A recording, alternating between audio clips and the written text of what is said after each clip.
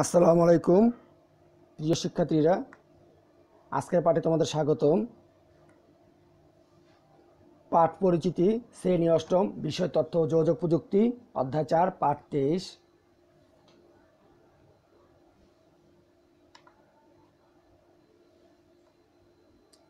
ছবিগুলো দেখে নিচের প্রশ্নটির উত্তর দাও। এখানে তিনটি ছবিতে তোমরা দেখতে পাচ্ছ। প্রথম ছবিতে মুদ্রা গণনা করা হচ্ছে। দ্বিতীয় ছবিতে পণ্য গণনা করা হচ্ছে এবং তৃতীয় ছবিতে ক্যালকুলেটরের সাহায্যে টাকা পয়সা গণনা করা হচ্ছে। তোমরা কি বলতে পারো কম্পিউটারের কোন প্রোগ্রাম ব্যবহার করলে এই কাজগুলো সহজে করা যায়? উত্তর, স্প্রেডশিট প্রোগ্রাম। হ্যাঁ শিক্ষার্থীরা, আমরা যদি স্প্রেডশিট প্রোগ্রাম ব্যবহার করে এই গণনা কাজগুলো করি, তাহলে খুব সহজেই এবং অল্প সময়ে আমরা করতে পারব। তাই আমার আজকের পাঠ স্প্রেডশিট সফটওয়্যারের ব্যবহারের কৌশল। আজকের পাঠের শিখন ফল। এই পাঠ শেষে শিক্ষার্থীরা এক, কম্পিউটার মাইক্রোসফট এক্সেল দুই সাত খুলতে পারবে। দুই, এক্সেল প্রোগ্রাম উইন্ডো সম্পর্কে পরিচিতি লাভ করবে। তিন, মাইক্রোসফট এক্সেলে ডাটা এন্ট্রি করতে পারবে। চার, এক্সেল প্রোগ্রামে যোগ ও বিয়োগ করতে পারবে। পাঁচ, ডায়াগ্রাম তৈরি করতে পারবে স্প্রেডশিট প্রোগ্রাম খোলা। আমরা এখানে আজকে দেখব কীভাবে একটি স্প্রেডশিট প্রোগ্রাম খোলা হয়। তোমরা পাশের চিত্রটি লক্ষ্য করো। কম্পিউটার খোলা অবস্থায় স্টার্ট বাটনে ক্লিক করে অল প্রোগ্রামসে যেতে হবে। আমি অ্যারো চিনি দিয়ে দেখিয়ে দিলাম। অর্থাৎ তোমার স্প্রেডশিট প্রোগ্রাম খুলতে হলে প্রথমে তোমার কম্পিউটারের ঠিক বাম দিকে কোনার দিকে স্টার্ট বাটন আছে, সেখানে তুমি ক্লিক করবে, সেখান থেকে তুমি ক্লিক করে অল প্রোগ্রামস নামে একটা আইটেম দেখতে পাবে, সেখানে তুমি ক্লিক করবে। এরপর সংশ্লিষ্ট স্প্রেডশিট প্রোগ্রামের আইকনে ক্লিক করতে হবে। এই আরও চিহ্নিত দেখিয়ে দিলাম। এখানে মাইক্রোসফট অফিস এক্সেল দুই হাজার সাত চিহ্নিত করা আছে এই অংশ তুমি ক্লিক করবে। তাহলে তুমি একটি স্প্রেডশিট প্রোগ্রাম অর্থাৎ মাইক্রোসফট অফিস এক্সেল খুলতে পারবে। এছাড়াও তোমার ডেস্কটপে যদি মাইক্রোসফট এক্সেল আইকন থাকে, এরকম এই ধরনের, তুমি তোমার ডেস্কটপে যেটা দেখতে পাচ্ছ, এই আইকনের উপর তুমি মাউস দিয়ে দুইবার ক্লিক করে এই মাইক্রোসফট এক্সেল প্রোগ্রাম চালু করতে পারবে। মাইক্রোসফট এক্সেল পরিচিতি। অর্থাৎ মাইক্রোসফট এক্সেল প্রোগ্রাম চালু করার পর তুমি তোমার কম্পিউটার ডেস্কটপে এবং একটা উইন্ডো দেখতে পাবে। এখন আমরা এই উইন্ডো সম্পর্কে পরিচিতি লাভ করব। তাই প্রথমে আসো অফিস বাটন। তো অফিস বাটন কোনটি? তুমি তোমার ডেস্কটপের ঠিক বাম দিকের উপরের কোনায় এবং এক্সেল লেখা যে লাল চিহ্নিত অংশটুকু দেখানো দেখানো হচ্ছে তীর দিয়ে, এটা হচ্ছে তোমার অফিস বাটন এরপর হচ্ছে কুইক অ্যাক্সেস টুলবার আমি এরো দিয়ে দেখিয়ে দিচ্ছি। এই যে লাল বক্স করা অংশটুকু হচ্ছে কুইক অ্যাক্সেস টুলবার এরপর তোমার কম্পিউটারের ঠিক উপরে লাল অংশটুকু, যেখানে Microsoft Excel product activation fail লেখা আছে, এই অংশটাকে বলা হয় টাইটেল বার এরপর টাইটেল বারের নিচে home insert page layout formulas data review view যে আইটেমটা দেওয়া আছে, এই অংশটাকে বলা হয় মেনুবার। মেনুবারের ঠিক নিচে যে আইকনগুলো তোমরা দেখতে পাচ্ছ, যে সবুজ বক্সের মধ্যে যে আইটেমগুলো আছে, এই আইটেমগুলোকে একসাথে বলা হয় রিবন সেলের অবস্থান এখানে তোমরা সবুজ বক্সের মধ্যে এ ওয়ান চিহ্নিত একটা অংশ দেখতে পাচ্ছ। এই অংশটা হচ্ছে তুমি তুমি তোমার ডেস্কটপ কোন সেলে কাজ করছ, এখানে সেই অবস্থানটা দেখাবে। এরপর হচ্ছে ফর্মুলা বার। তুমি লাল চিহ্নিত বক্সের মধ্যে যে অংশটা দেখতে পাচ্ছ, যেখানে শুরুতে লেখা আছে এফএক্স এটা হচ্ছে ফর্মুলা বার। তোমার মাইক্রোসফট এক্সেলে যত গাণিতিক কাজ, এর সূত্র ব্যবহার করা হয় সেই সূত্রগুলো এই ফর্মুলা বারে লেখা হয়। এরপর হচ্ছে শিট ট্যাব তো কম্পিউটার ঠিক নিচে বাম দিকে sheet one sheet two sheet three নামে যে অংশটুকু আছে, এই অংশটুকুকে বলা হয় শিট ট্যাব শিট ট্যাপের নিচে যে অংশটুকু আছে, এটা আমি লাল চিহ্নিত অংশ বক্সের মধ্যে দেখিয়ে দিলাম, এই অংশটাকে বলা হয় স্ট্যাটাবার তো শিক্ষার্থীরা, আমরা মোটামুটি মাইক্রোসফট এক্সেল দু হাজার সাতের উইন্ডো সম্মত পরিচিতি লাভ করলাম। এরপর এসে আমরা মাইক্রোসফট এক্সেলে ডাটা এন্ট্রি করা দেখব কীভাবে মাইক্রোসফট এক্সেলে ডাটা এন্ট্রি করা হয়।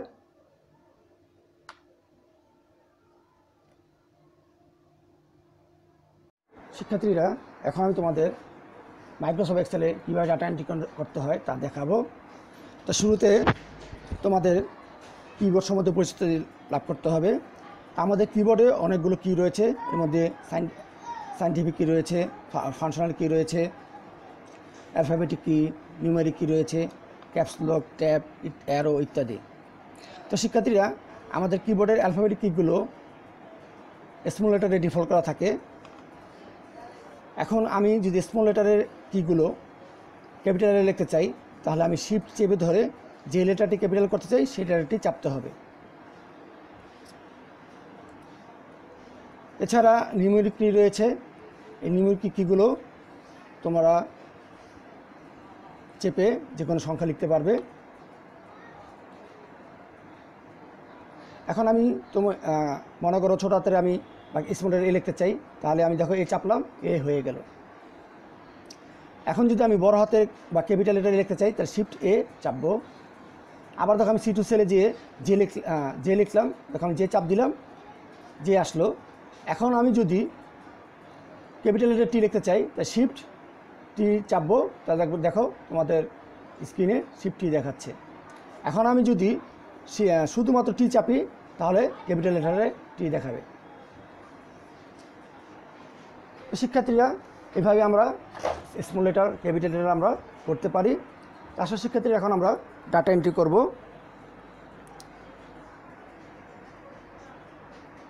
এখন শিক্ষার্থীরা, আমরা যে সেলে ডাটা এন্ট্রি করতে চাই সেই সেলে আমরা কার্যের নিয়ে ক্লিক করব। তাহলে আমরা সেই সেলে আমার থেকে আমরা ডাটা এন্ট্রি শুরু করতে পারব। দেখো আমরা বি টু সেল থেকে ডাটা এন্ট্রি শুরু করতে চাচ্ছি আমি বি টু সেলে ক্লিক করলাম। এখন ডাটা এন্ট্রির পূর্বে আমাদের ডাটা এন্ট্রির হেডলাইনগুলো লিখতে হবে। আমরা হেডলাইনগুলো আমরা লিখব। শুরুতে আমি লিখব সিরিয়াল নাম্বার অর্থাৎ অ্যাস এন লিখব। তা আমি shift S dot shift N লিখলাম। এরপর আমি পরের সেলে যেতে চাইলে আমি কি করব? ট্যাপ চাপবো। ট্যাপ চাপ দিলে আমি, পরের সেলে চলে যাব। তখন আমি সি টু সেলে চলে আসলাম। এখানে লিখব আমি name shift N A M E name এখন আমার পরের সেলে চলে যাব, লিখব তার ট্যাপ চাপ দিলাম, চলে গেলাম ডি টু সেলে এখানে লিখব আমি English shift E N G L I S H English এরপর আমি পরের সেলে যাওয়ার জন্য আবার ট্যাপ চাপ দিলাম। আমরা টু সেলে চলে আসলাম। এখানে লিখব আমি math shift M A T H math এরপর আমি পরের সেলে যাওয়ার জন্য আবার ট্যাপ চাপ দিলাম। আমি অ্যাপ টু সেলে চলে আসলাম।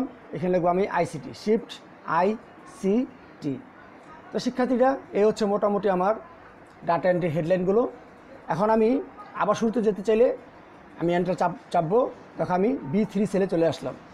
এখানে আমি লিখলাম এক তার নেমে লিখলাম আমি Sakib shift S A, K, I, B, Sakib. আবার শিফট দিলাম। এখানে লিখব আমি নম্বরগুলো, যেমন সেভেন্টি সেভেন জিরো আবার ট্যাব চাপলাম। পরের সেলে চলে আসলাম। এখানে লিখলাম আমি এইটটি এইট আবার পরের ট্যাবে চলে আসলাম। এখানে লিখলাম আমি ফর্টি ফাইভ আবার এনটা চাপলাম। আর দেখো আমি বি ফোর সেলে চলে আসলাম। এখানে লিখব আমি সিরিয়াল নাম্বার দুই। নাম লিখব Rabbi. Shift R A B B I Rabbi. Tab চাপলাম, পরে পরের সেলে চলে গেলাম। এখানে লিখব আমি সেভেন্টি ফাইভ তারপর লিখলাম আমি নাইনটি পরের সেলে, তারপর লিখলাম আমি ফর্টি এইট আবার এন্টার চাপলাম। আবার শুরু ডাটা নিয়ে শুরুতে চলে আসলাম বি ফাইভ সেলে। এখানে লিখলাম আমি নম্বর থ্রি নাম লিখলাম Rina shift shift R I N A Rina. তারপর ট্যাপ চাপলাম পরে ছেলে চলে আসলাম। এখানে লিখলাম আমি নম্বর সেভেন্টি এইট তারপর লিখলাম নম্বর এইটটি তারপর লিখলাম নম্বর ফর্টি টু প্রতিটা ঘরে আমি আমি ট্যাপ দিয়ে চলে গেলাম, আবার এন্টার চাপলাম। আমি বি সিক্স সেলে চলে আসলাম, এখানে লিখলাম আমি নম্বর ফোর আবার ট্যাপ চাপ দিলাম। পরের সেলে চলে আসলাম, এখানে লিখলাম shift S O N I A Sonia আবার ট্যাপ চাপ দিলাম, পরের সেলে চলে গেলাম, লিখলাম সেভেন্টি টু তারপর লিখলাম সেভেন্টি ফাইভ আবার লিখলাম ফর্টি ফোর আবার এন্টার চাপলাম। আমি পরের সেলে চলে আসলাম। তো শিক্ষার্থীরা, এই হচ্ছে মোটামুটি আমার, এই হচ্ছে মোটামুটি আমার ডাটা এন্ট্রি এভাবে আমরা শত শত লেনদেন ডাটা এন্ট্রি করতে পারব।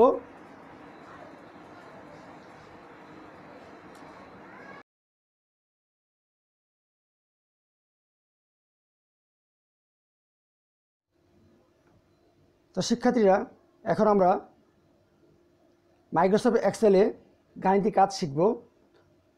তা প্রথমে আমরা শিখব যোগ করা। তোমরা একটা মাইক্রোসফট এক্সেল উইন্ডোর ছবি দেখতে পাচ্ছ। এই ছবিতে তোমার সি টু সেলে ডি টু সেলে এবং ই টু সেলে কিছু তথ্য দেওয়া আছে এবং অ্যাপ টু সেলে সেই তথ্যের যোগফল বের করা হয়েছে। আসো আমরা এই যোগগুলো কীভাবে বের করব তা আমরা দেখে নিই। C two D two E two কলামে যোগ করার জন্য তোমাকে অ্যাপ টু কলামে কার্যার রাখতে হবে। তারপর সেখানে লিখতে হবে সমান সমান S U M sum first bracket C two colon E two first bracket শেষ। তারপর তুমি তোমার কিবোর্ডের এন্টার চাপ দিবে। তাহলে তো কী হয়ে যাবে? এই তিনটি সেলের যোগফল বেরিয়ে হয়ে যাবে। আমি লাল অ্যারো চিহ্ন দিয়ে দেখিয়ে দিলাম। এছাড়া সংখ্যা যোগ করতে চাইলে ফর্মুলা সেলে কার্য রেখে নিয়ে ক্লিক করতে হবে। দেখো আমি অ্যারো দিয়ে দেখে দিচ্ছি। তোমার মাইক্রোসফট এক্সেল উইন্ডোতে এই চিহ্নিত স্থানে তুমি কি করবে? ক্লিক করবে। ক্লিক করলে F two column F two সেলে তোমার এই তিনটি সেলের যোগফল বের হয়ে যাবে। এছাড়াও অ্যাপ টু কলমে কার্যে রেখে ফর্মুলা বারে সমান সমান C two plus D two plus E two লিখে এন্টার চাপ দিলে তোমার কি হবে? অ্যাপ টু সেলে তোমার যোগ হয়ে যাবে। আমি আরও চিনি দিয়ে দেখিয়ে দিলাম। তো শিক্ষার্থীরা, আমরা এই তিনটি প্রক্রিয়ায় আমরা মাইক্রোসফট এক্সেলে যোগের কাজটা করতে পারি। এবার আমরা শিখব বিয়োগ করা। তোমরা পাশে একটা মাইক্রোসফট এক্সেলের উইন্ডো দেখতে পাচ্ছ। সেখানে সি টু সেলে এবং ডি টু সেলে উপাত্ত দেওয়া আছে এবং ই টু সেলে তার বিয়োগ করা হয়েছে। এখন সি টু ও ডি টু কলমে বিয়োগ করার জন্য তোমাকে কি করতে হবে? ই টু কলমে কার্য রাখতে হবে। সেখানে সমান সমান S U M sum first bracket C two minus D two first bracket শেষ এন্টার চাপতে হবে। তাহলে তো কী হবে? ই টু কলমে বা ই টু সেলে তোমার সেই সি টু এবং ডি টু সেলের বিয়োগফল বের হয়ে আসবে। তুমি লাল এরাচনি দিয়ে সূত্রের প্রয়োগটা দেখানো হলো। এছাড়াও ই টু কার্য ই টু সেলে কার্যে রেখে ফর্মুলা বারে সমান সমান C two minus G two লিখে এন্টার চাপ দিলেও তোমার কী হয়ে যাবে? ই টু সেলে তোমার ওই দুটি সেলের বিয়োগফল প্রকাশ করবে। আমরা মাইক্রোসফট এক্সেলে দুটি প্রক্রিয়ায় বিয়োগের কাজ করতে পারি। আশা করি শিক্ষার্থীরা তোমরা যোগ বিয়োগের কাজটা বুঝতে পেরেছ। এবার আমরা ডায়াগ্রাম অঙ্কন করা শিখব। তো ডায়াগ্রাম অঙ্কনের জন্য তোমাকে প্রথমে কিছু কাজ করতে হবে। আমি পাশের চিত্রে ডায়াগ্রাম সহ একটি উইন্ডো দেখাই, দেখলাম। তো এই ডায়াগ্রাম অঙ্কনের জন্য তোমাদের তোমাদের প্রথমে করতে হবে ডায়াগ্রাম অঙ্কনের জন্য নিচের প্রক্রিয়া অনুসরণ করতে হবে। প্রথমে তোমাকে ওয়ার্কশিটে ডাটা এন্ট্রি দিতে হবে। দেখো তোমার উইন্ডোতে এখানে ডাটা এন্ট্রি দেওয়া আছে।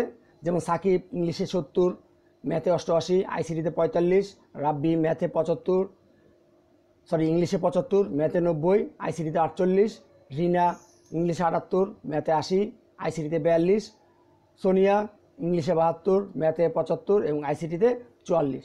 এখন তুমি এই ডা এই উপাত্তগুলো ডায়াগ্রাম আগে দেখতে চাও, তাহলে তোমাকে কি করতে হবে? রিবনে, আর আমরা আগে রিবন চিনেছি, রিবনে ইনসার্টে ক্লিক করতে হবে। তারপর সেখান থেকে চার্ট অপশনে ক্লিক করতে হবে। দেখো আমি এর অ্যারো চিহ্ন দিয়ে তোমাদের দেখে দিচ্ছি। এইখানে ইনসার্টে তোমাকে ক্লিক করতে হবে। তারপর সেখান থেকে এই চার্ট অপশনে গিয়ে তোমাকে ক্লিক করতে হবে। এখানে তুমি অনেকগুলো ডায়াগ্রাম দেখতে পারবে। সেই ডায়াগ্রাম অনুযায়ী যে ডায়াগ্রাম তোমার পছন্দ, ঠিক তুমি সেই ডায়াগ্রামে ক্লিক করলেই তুমি তোমার ডায়াগ্রাম অঙ্কন করতে পারবে।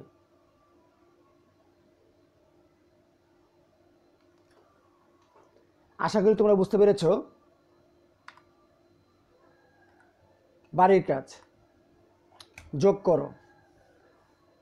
পঁচাশি, পঁয়তাল্লিশ, আটাত্তর এবং বিয়োগ করো একশো পঁয়ত্রিশ সাঁত্রিশ তোমরা এই কাজগুলো মাইক্রোসফট এক্সেলে যোগ বিয়োগের কাজটা করবে।